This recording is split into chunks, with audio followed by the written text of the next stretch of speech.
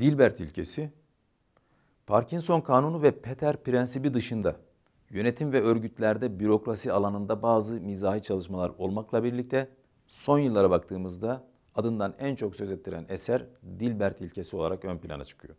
Dilbert ilkesi Scott Adams'ın yarattığı çizgi karakter olan Dilbert ve içinde yaşadığı iş dünyasındaki örgütsel olayları mizahi açıdan ele alan bir kitaptır. Washington Post gazetesi tarafından yüzyılın en iyi yönetim kitabı olarak nitelendiren bu Dilbert İlkesi kitabı 1996 yılında basılmış ve oldukça çok sayıda baskı yapmıştır. Uzun süre e, çok satan kitaplar arasında yer almıştır ve tepede yer almıştır. İlk olarak 1995 yılının Mayıs ayında yine Wall Street Journal'da makale olarak yayınlanarak bilimsel bir temele de aslında oturmuştur. Dilbert ilkesi karikatürist Scott Adams tarafından Peter prensibini tamamlayan hatta onun yerine geçen bir ilke olarak lanse edilmiştir.